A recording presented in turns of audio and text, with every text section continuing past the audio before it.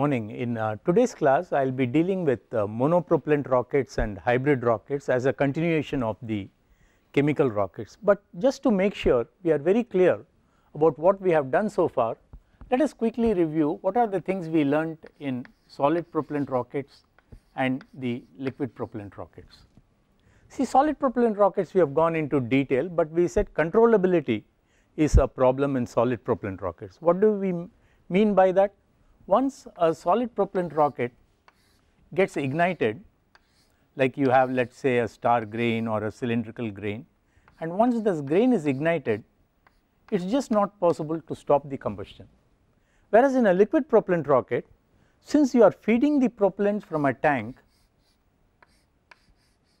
into the combustion chamber maybe by a pump maybe by gas pressure may be regulated or blow down mode or any other mode stage combustion cycle mode it is always possible to stop feeding it and you can have control. Therefore, we can say a liquid propellant rocket is more versatile in that control is possible and not only do you can you control the flow, but supposing I have a control system like I want to control the chamber pressure maybe I put some control here maybe with respect to compare with something else and therefore using this control system I can control the chamber pressure. I have a reference chamber pressure. I make sure that the reference chamber pressure and this are same.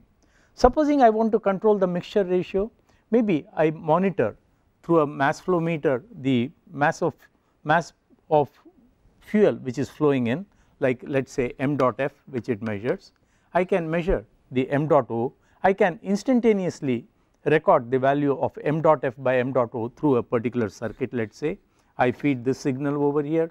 I feed this signal over here through a, a, a, mechanism here.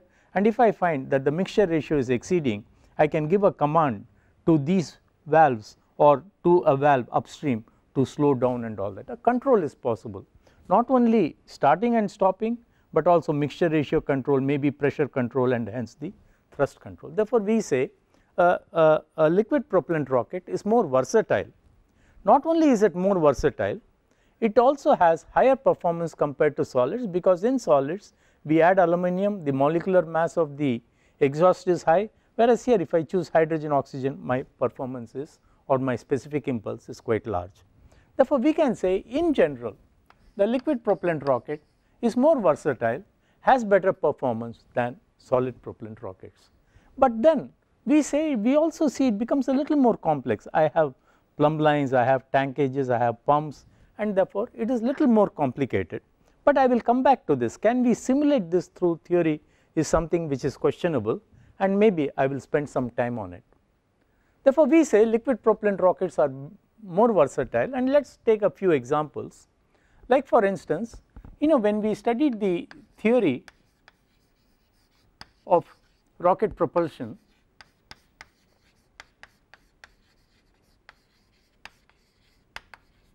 You will recall we said boosters are those rockets which are used during takeoff and the upper rockets are things which are known as sustainers or upper stage rockets.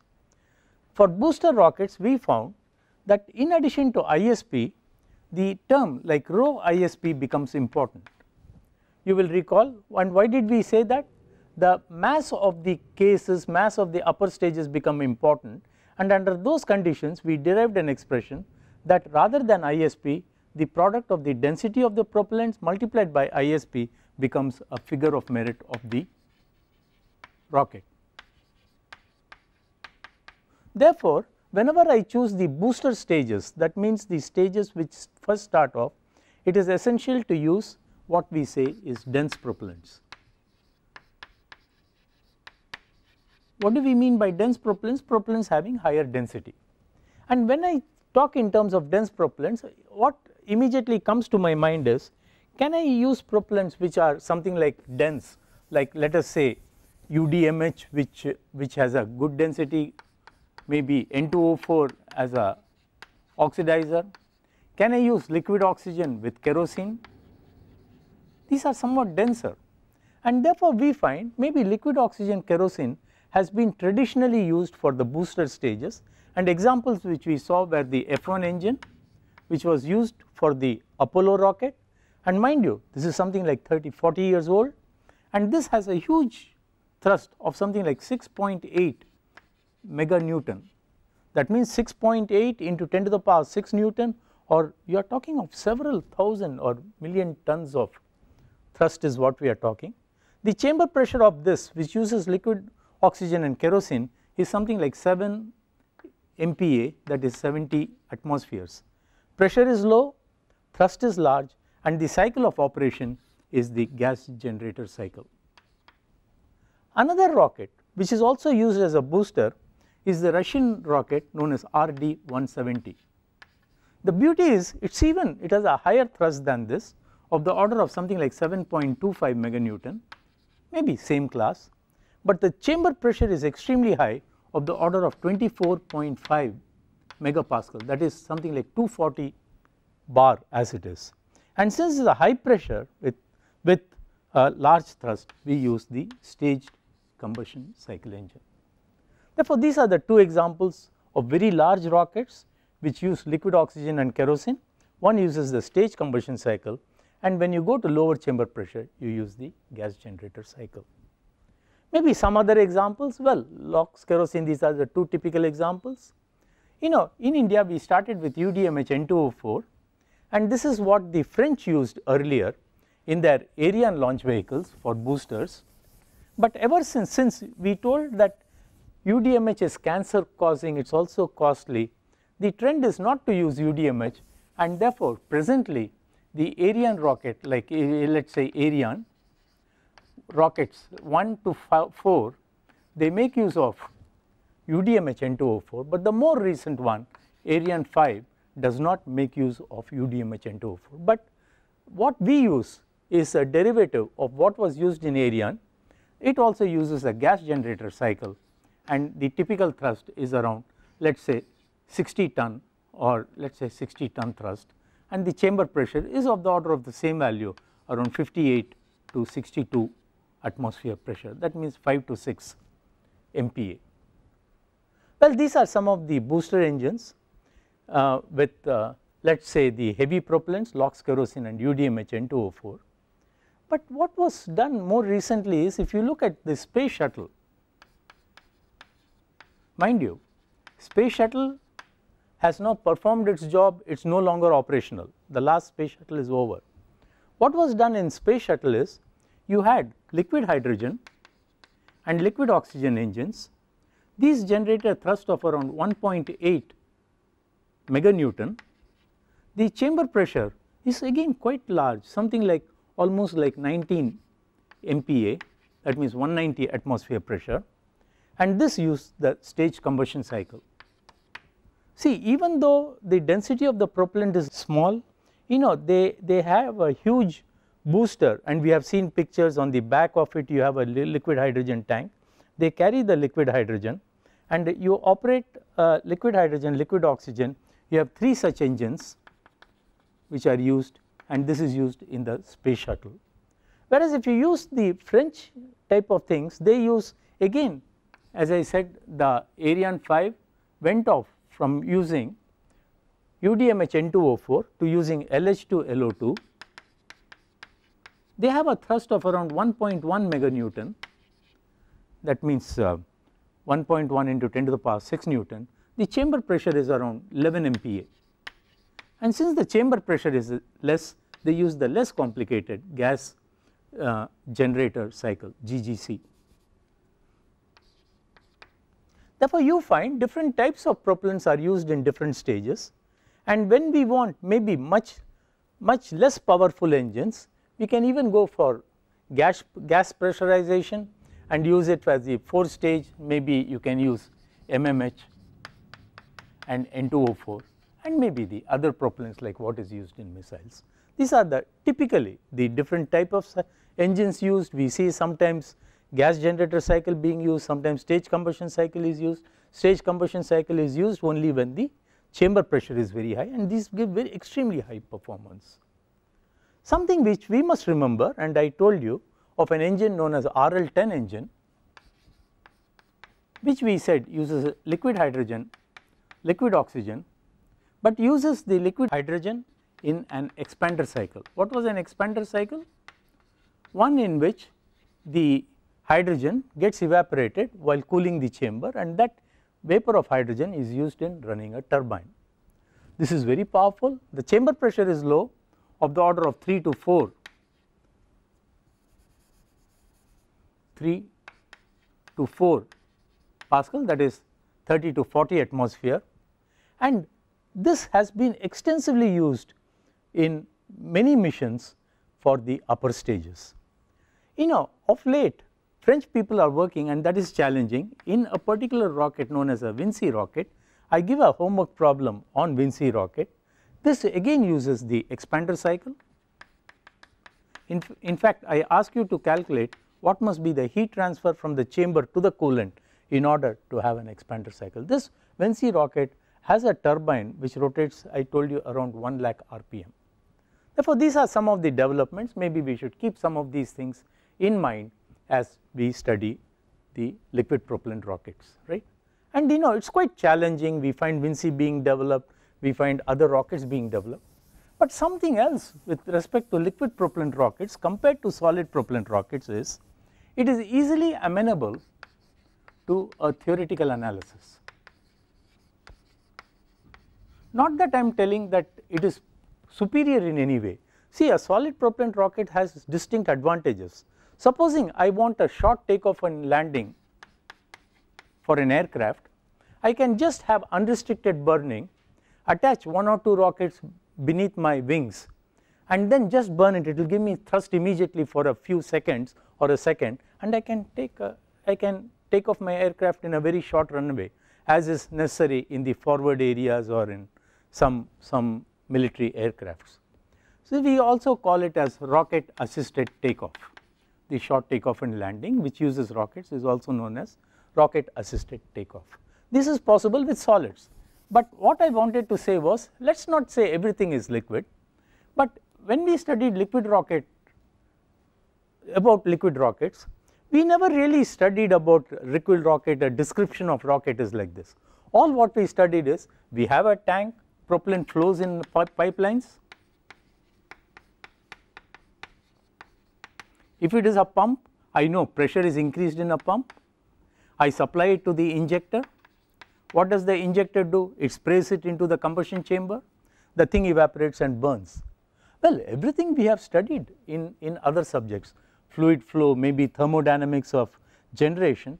Therefore we can say well a theoretical analysis of a liquid propellant rocket for let us say steady performance prediction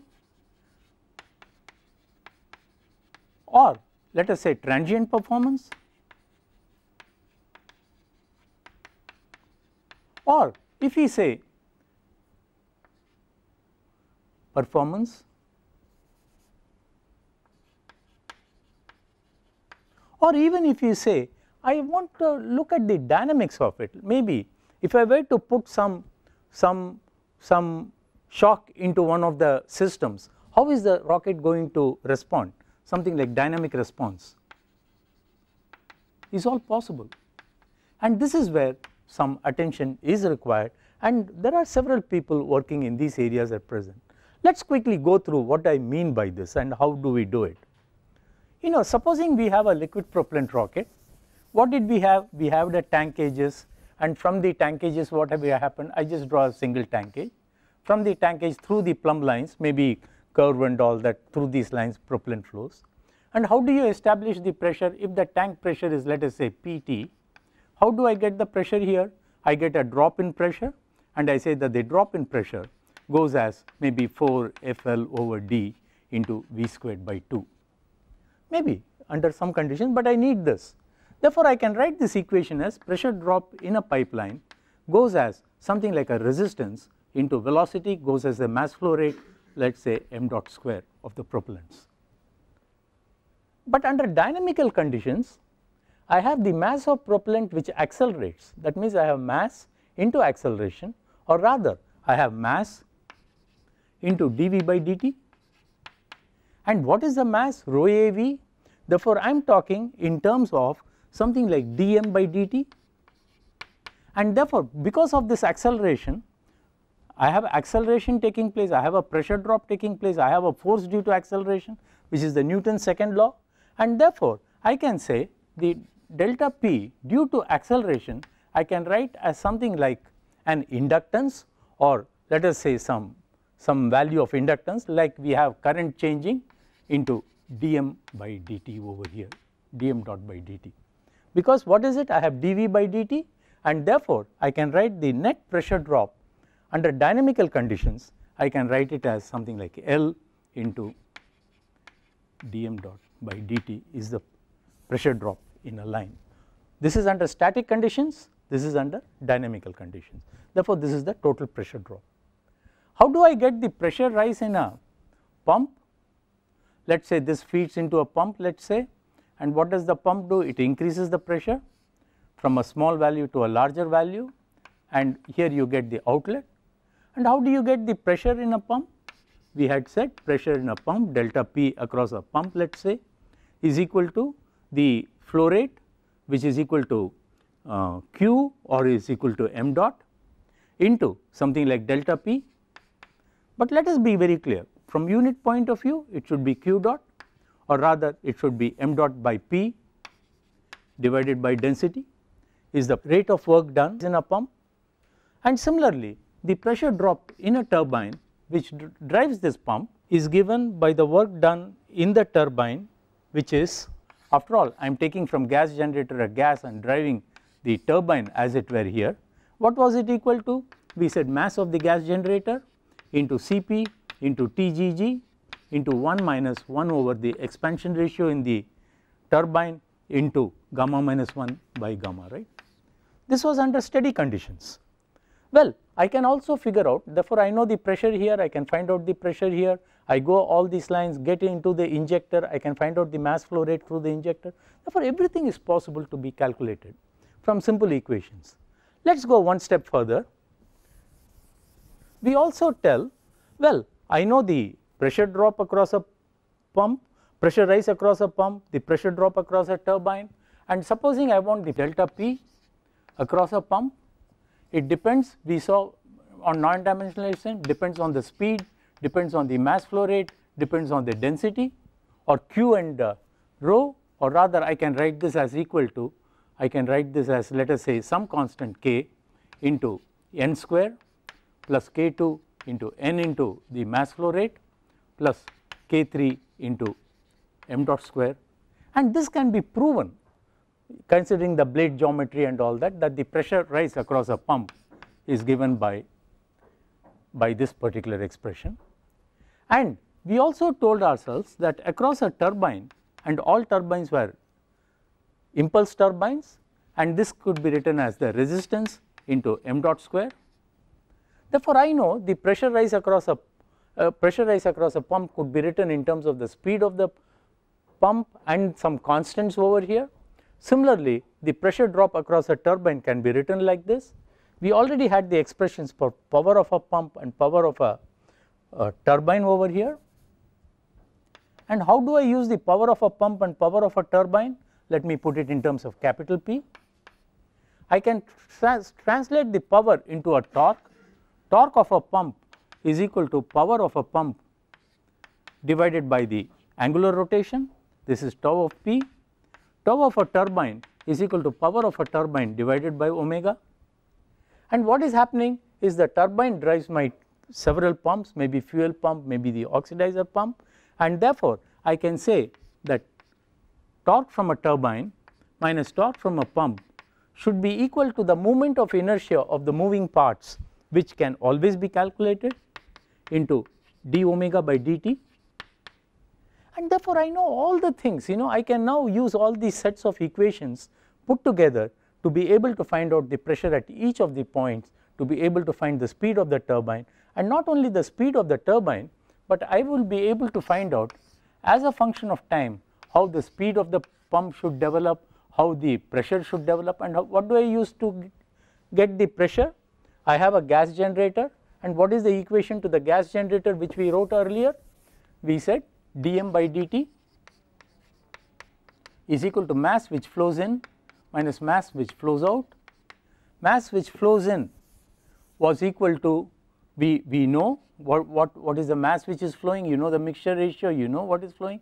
Mass which flows out is equal to 1 over C star into P into AT and what is dm by dt? dm by dt was equal to dp by dt into PV by RT is equal to m therefore we have m is equal to PV by RT, V is a constant therefore V by RT is equal to m dot n and how do you get m dot n? We said from the injector you have CD into area of orifices into something like 2 rho into the injection pressure minus the pressure in the chamber. Therefore, I know what is the thing which is flowing. Therefore, I am able to get all what I want through a set of equations which describe my system and it will be indeed challenging to be able to put together all these things with dynamics and this is what all of us like to do with liquid propellant rockets. This we can say is something like a dynamical simulation or a theoretical simulation of a liquid propellant rocket.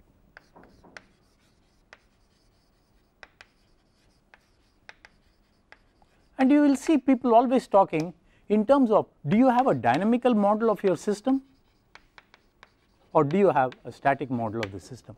All what is meant is these equations have to be put together. Maybe I went through it hurriedly because we have covered individual components together and there is not much point in again repeating the whole thing, but I think we should keep this in mind. And in a dynamical model not only you solve for the parameters at the different places, but also you put your control system. And what is the control system? You would like the mixture ratio to be fixed and in the chamber. For the mixture ratio to be fixed you need to have some control system which controls this as it is moving. I think this is all about the liquid propellant rockets and you see even a simulation is possible. Having said that we, we, we continue with our exercise into maybe monopropellant rockets and what are monopropellant rockets? We use a single propellant.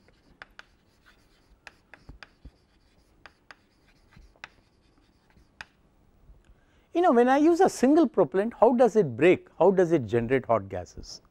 See when we when we were in our high school we talked in terms of certain substances known as catalysts. A catalyst is a substance which improves the rate of a reaction without itself taking part in the reaction. That means it does not get changed during the reaction and a typical reaction is if I have CO plus O2 I want to form CO2 dry CO and O2 will not form this but water vapor will catalyze the reaction and help you to get it. You have catalysts which could either be homogeneous or it could be heterogeneous. Let us take an example. By heterogeneous means it is in a different phase from what is the substance which it is catalyzing and why does it have to happen? Maybe this is your reaction reactant maybe some substance like let us say a, a single propellant over here. Combustion products have much lower energy level this is the heat of formation or the energy here this is the, of the products over here. I have to give some energy for it to start reacting and once it comes here it goes this therefore this axis becomes the progress of the reaction and this becomes let us say the energy involved. Well this is the ignition energy required to start a reaction and once a reaction starts the, the reactants go to products. When I use a catalyst I sort of reduce the type of energy which is required that means a catalyst reduces the activation energy to start a reaction that is the basic function of a catalyst. And we have certain substances like let us say silver. Silver when I have a silver wire make it into a mesh and I pour hydrogen peroxide over it the hydrogen peroxide dissociates into H2O plus O2 maybe 2H2O 2H2O plus O2 and similarly the silver is heterogeneous because it is a solid it, it catalyzes a liquid hydrogen peroxide into two gases steam and oxygen. Similarly if I have a catalyst like iridium maybe iridium ion what it does is when iridium ion is in contact with hydrazine N2H4 it immediately or when it is the iridium catalyzes the decomposition of hydrogen into ammonia plus whatever is left. Let us say you have 3 N2H4 let let us just say is equal to you have 4 NH3 plus N2 over here 12 here 6 4 plus 2 6 here. This is the decomposition reaction. And in presence of iridium ion the hydro hydrazine is decomposed to ammonia and nitrogen.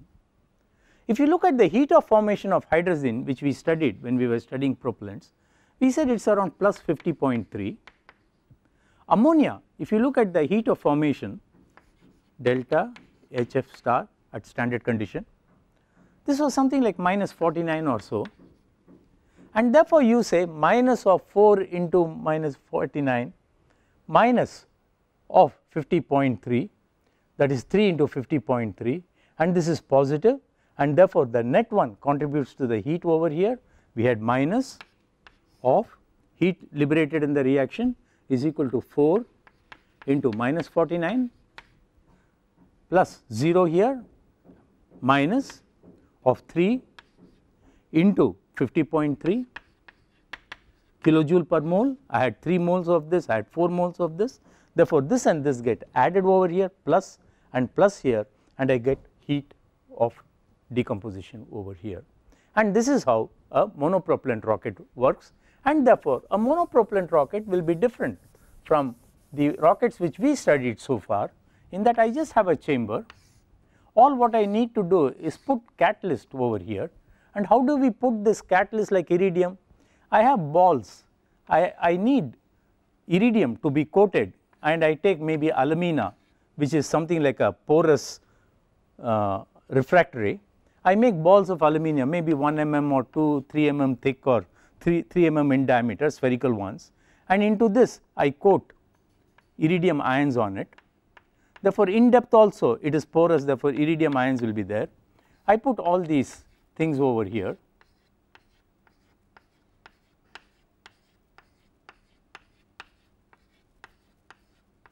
And into this I pass hydrazine.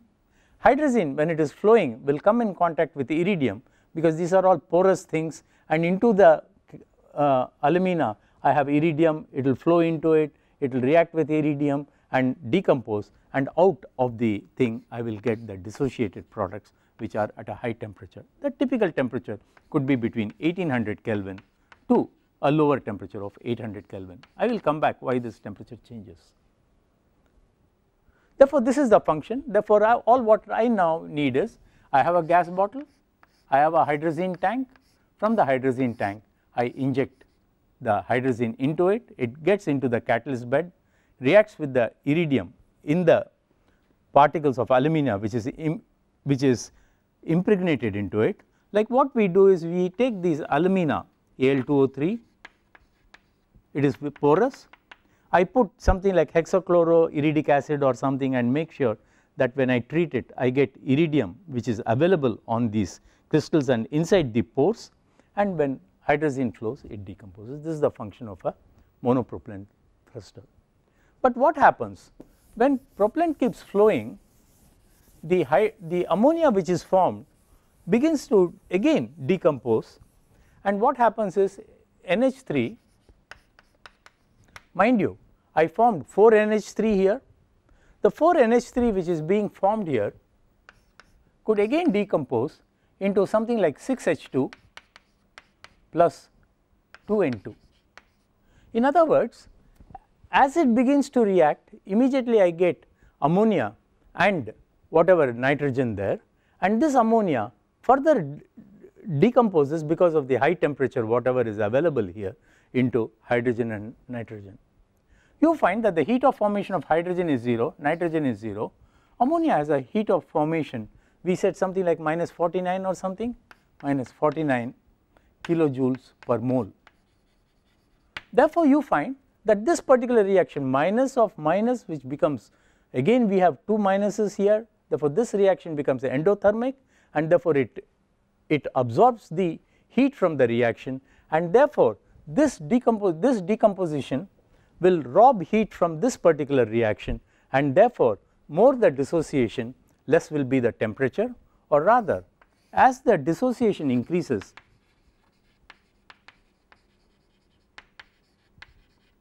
ammonia increases the temperature will keep on falling. If there is no dissociation the temperature is around 1820 or 1830 Kelvin and if the dissociation is complete I get something like 800 Kelvin.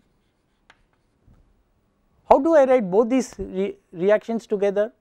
If I now say x of the 4NH3 which is formed dissociates, I can combine this equation and this equation and then write it as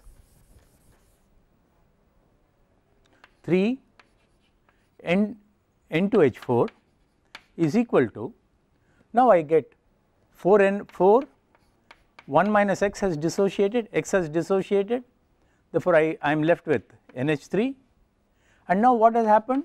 I get for each which has dissociated now I get 6 x H2 and now I get 2 that means 1 plus 2x because I had originally N2 of N2 over here. Therefore, this becomes my equation when part of the ammonia which is formed dissociates into hydrogen and nitrogen. And now if I find out the heat of formation as x increases, I find as x increases the heat liberated comes down, therefore the temperature comes down and this is where I said temperature decreases from something like 1800 to 800, but I find I am getting more and more of hydrogen. Therefore, my molecular mass of the products X also decreases. This decreases from a value like 19 to something like 10, you can work it out. I give a homework problem on that and therefore, since molecular mass comes down and temperature comes down, if I were to put both of them together in terms of either C star or in terms of specific impulse, I find my specific impulse with respect to x is maximum for a value around 0.2 dissociation and therefore my my ISP goes like this and keeps decreasing I get a maximum value around this. The change in specific impulse between 0 dissociation to 0.2 dissociation is does not change much, but thereafter it begins to come down. Therefore, you would like to configure your catalyst bed such that you have degree of dissociation as 0.2 and that is when you get your maximum performance. This is the background for monopropellant rockets. Let us try to put things together now and ask ourselves what is required for a monopropellant rocket. Well, it is very extremely simple. I have a tank, I have a pressure regulator, the pressure regulator supplies propellants to a catalyst bed and this catalyst bed decomposes it and out goes the products through the nozzle. This becomes my catalyst bed. I need an injector maybe an ordinary shower head injector which forces the liquid on this is okay. But you know if I force it like this on the thing it does not uniformly get distributed therefore maybe I could put some screens here metal screen over here impinge it on the screen and distribute it uniformly that is one solution. Or else I could allow the bed to be very much near. I put metal screens over here. I inject it as a shower head here. Impregnate the catalyst bed right at the injector. And this is one other configuration of doing it.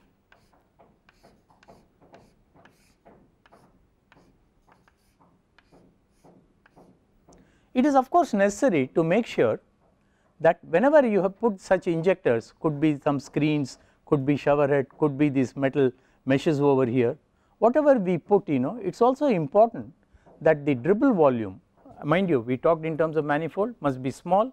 If dribble volume is large it keeps on dribbling and you will have thrust generation with respect to time. Instead of giving like this it may keep on going for a long time. That is the dribble volume. Well these are the only things in monopropellant rockets we find it is quite simple and in fact it is widely used for in, in satellites for controlling the trajectory or let us say orbit control and for attitude of the satellite this is where we use it. Having said that let me quickly run through what I have been telling so far in monopropellant rockets.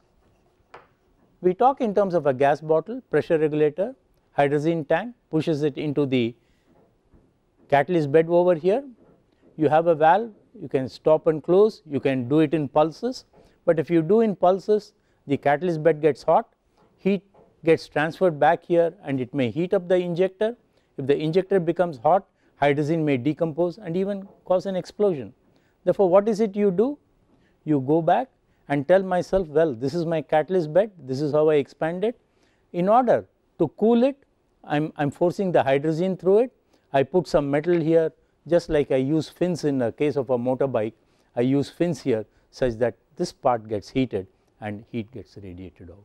This is something like a we say between the thing here and the monopropellant rocket here I have something like a standoff. As I told you I would like my manifold volume which we called as hold up volume of the propellant to be as small as possible. I have the injector here which could be shower head or some of the screens I am talking of and this is the catalyst bed. How do you specify a catalyst bed? Let us just spend a couple of minutes on the catalyst bed. We told ourselves well catalyst bed consists of alumina. In the alumina I have lot of pores or holes and when I impregnate it I make sure the iridium is available at all the places and therefore when hydrazine flows it wets this that means the alumina is a substance which is permeable to hydrazine, permeable. Therefore, permeability is an important parameter. This is iridium in alumina and therefore, it must be permeable and and therefore, how do you design a catalyst bed? After all you have a bed of a certain size and hydrazine flows into it Therefore, it is specified in terms of mass flow of hydrazine in grams divided by the surface area that means so much centimeter square and you are flowing per second and this is known as bed loading.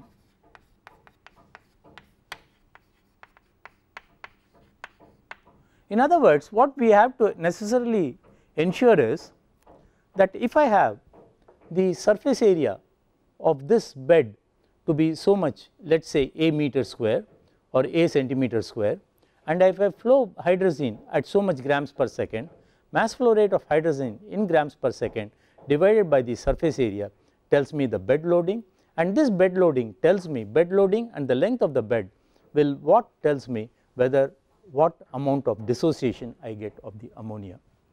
Therefore, this bed loading typically varies between 1 gram per centimeter sec per centimeter square second to 50 grams per centimeter square second. For large rockets might, might be. Whenever we use monopropellant we do not go for high thrust. Maybe the maximum thrust which we can go is something like 500 Newton to 1000 Newton. The smallest could be anything small maybe millinewton or something like that for very small one we use a small bed loading for larger ones we use a larger bed loading. This is all about the monopropellant rockets. Therefore, I think I should stop here, but or rather let us just finish off. We say that the temperature with the degree of dissociation keeps coming down.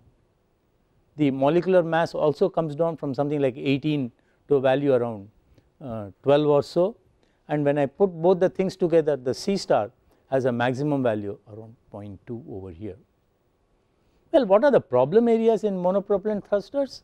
Well, the catalyst bed runs hot therefore, the injector runs hot hydrogen could dissociate and if hydrogen being a monopropellant it, it, it could as well explode and therefore, we must ensure we have thermal management and how do we do the thermal management? We told ourselves well I have something like a fin which will dissipate the heat whenever the thing gets hot and remove the heat from here. Well dribble volume must be small you know we have some problems whenever we have catalysts like for instance whenever I have these alumina things over here and we said that the thing goes wet set it could sometimes break which we call as attrition. What is attrition you have all these one with the other and all that you know it creates some pressure and leads to breakage of the catalyst and some of the catalyst gets out through the nozzle that is known as loss of catalyst. And again we told ourselves when I use in spacecrafts I need to have something like a positive expulsion system. Maybe the bladder material might get into the hydrazine and might poison the catalyst. That means the activity of the catalyst can come down. Therefore, the two things which we have to keep in mind is whenever we have catalyst the activity of the catalyst must not get disturbed because you have uh, hydrazine might, might contain some aniline, it might contain some, some material from the bladder which can go and block the iridium and make sure that it does not function as required. Therefore, we must ensure that the cat when the activity of the catalyst is decreased we say we call it as catalyst gets poisoned it is no longer effective and we must prevent the poisoning of catalysts. And of course, whenever something gets poisoned it is not able to do its performance well. But the main drawback with using the monopropellant thruster is it has low performance. Compared to bipropellant rockets the performance is very much lower. Maybe something like 3000 Newton second by kilogram is the ISP of let us say a low performing propellant we called it as propellants which have relatively low energy propellant compared to that this might be around 1500 Newton second by kilogram. And therefore, there has always been an interest to say supposing I have a monopropellant thruster that means I have a catalyst bed, I have an injector over here, I have the thruster over here, can I put some electrical heating and improve the temperature? We said that the maximum temperature is around 1800 Kelvin I increase the temperature using electrical heating and the such type of thrusters in which I have monopropellant decomposition to an intermediate temperature and still increase the temperature further to improve my ISP is known as augmented electrohydrazine thrusters. I will visit revisit this problem maybe in the after some 5 or 6 classes when we talk of electrical propulsion. That means since the performance of monopropellant thruster is on the low side I can always improve it by electrically heating the gases from the higher temperature of 1800 to something like let us say 2500 or so and still get my high value of specific impulse. Well this is all about the monopropellant thrusters but there are some things which we have to keep in mind. See monopropellant rockets are very versatile in fact I think I should tell you this example H2O2 I did not consider. I always kept in terms of hydrazine. Why is it? Can somebody tell me? All I will tell you give a clue is N2H4 hydrazine has a standard heat of formation of we said something like plus 50.3 when I talk of hydrogen peroxide the heat standard heat of formation I have to put a standard here is equal to something like minus something like 187 or something kilojoules per mole kilojoule per mole. Therefore, now somebody can tell me why, why is it that hydrogen peroxide is not used much as a mono as a monopropellant. The standard heat of formation is terribly negative it again forms something like H2O plus O2 and these are 0 that means the amount of heat which I can generate is the heat liberated is going to be very much smaller because here I have positive and therefore I can get this coming out and giving me heat. Therefore the temperature what I can get by H2O2 decomposition will be very much smaller. And therefore universally if we see other than maybe in early early part of the program maybe in 1940s and 50s we used hydrogen peroxide as monopropellant nowadays it is not being used at all. The reason being I do I get extremely poor performance. And why do I get performance? Because this heat of formation is much more negative. And these things we have covered earlier. But there is one application.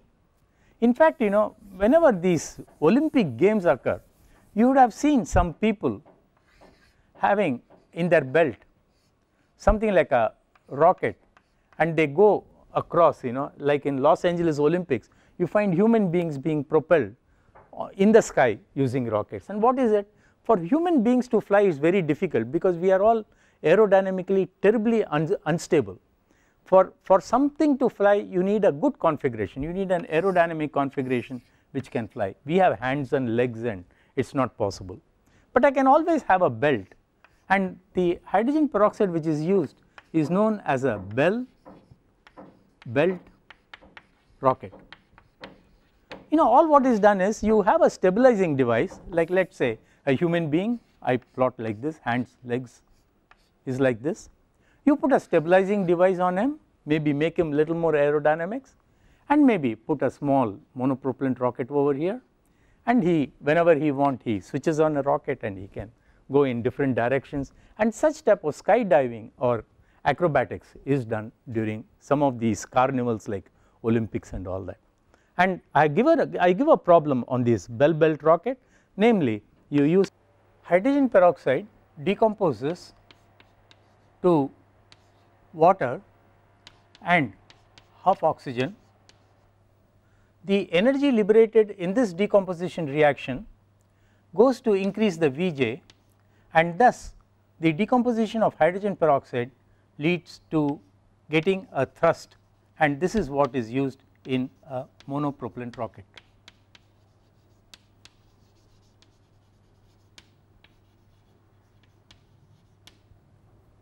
and but this this is what I will do what I propose to do in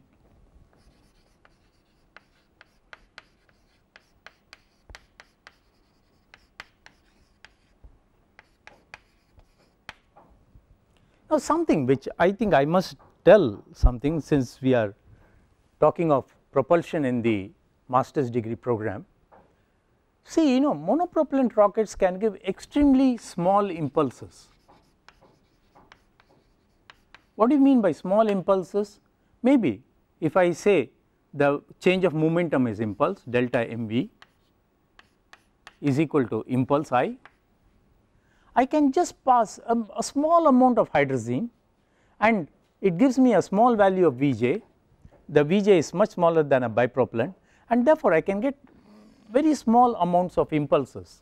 Why are impulses important? Supposing I have let us say I used a, I, I showed you a the case of a, a INSAT spacecraft, I have something like 16 rockets at the edges of it which are there and which we say you know I, I generate small amount of thrust such that if it if its axis is not in proper shape to be able to correct it and all that which means I have to supply a small impulse. How do I supply? I need a very small amount of propellant to go and maybe make a change in momentum.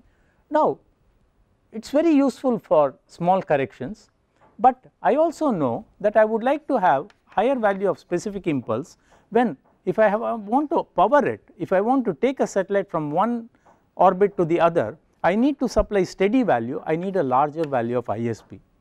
Therefore the question is can I use hydrazine N2H4 for both in the bipropellant mode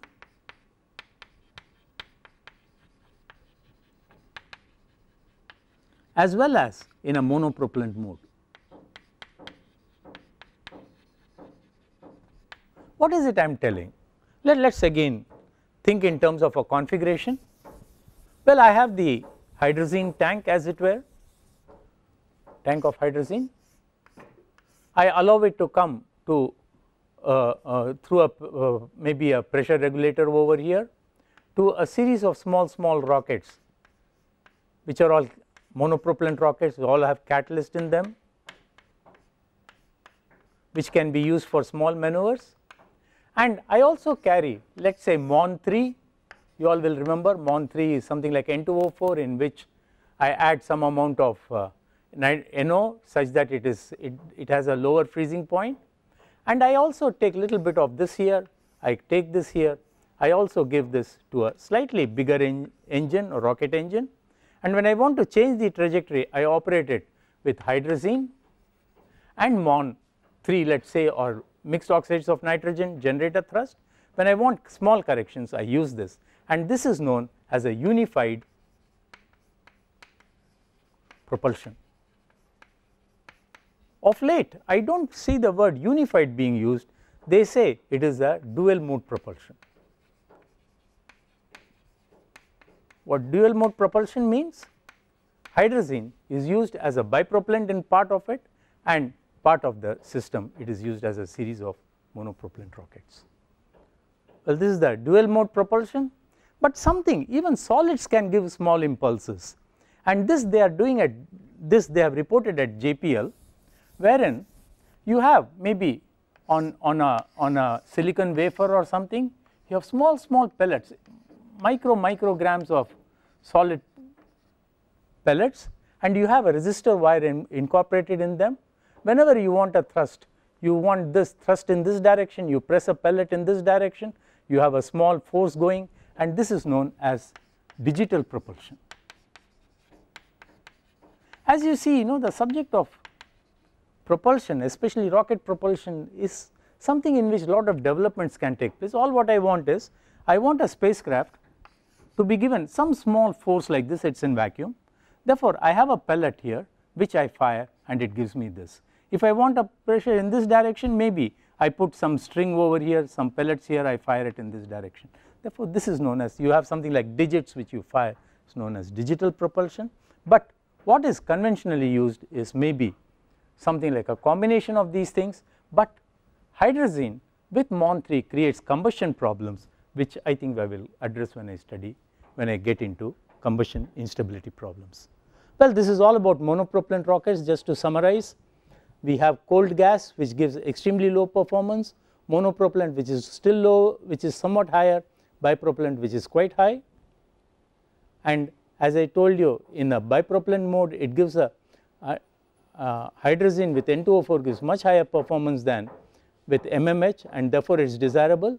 Japanese people make use of these things but I think we still have to understand little more about it. I think this is all about monopropellant rockets but just to complete the subject of rockets. We can also have instead of monopropellant, bipropellant, we could have 3 propellants, tripropellant rockets.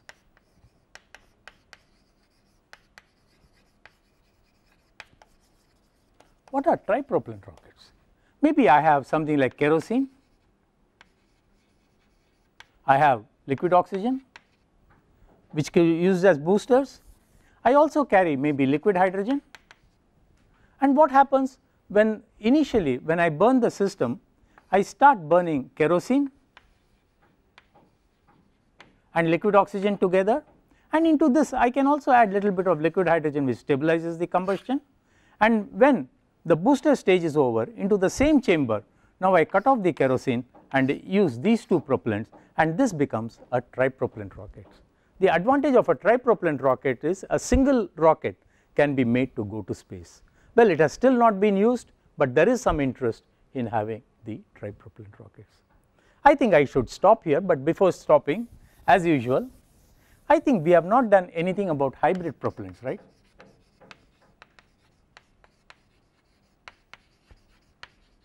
Before I start the next lecture on combustion instability, maybe I will spend a couple of minutes on hybrid rockets because I find it has not been very promising earlier an aircraft called White Knight is used to take a space cap capsule and this space capsule is powered by a hybrid rocket. This aircraft takes him to a height of 14 kilometers. From there he takes the tourists into space and into a suborbital flight and makes them come back over here. Maybe we will spend some 5 minutes on hybrid rockets in the next class and then get into the, the question of combustion instability right. Well thank you then.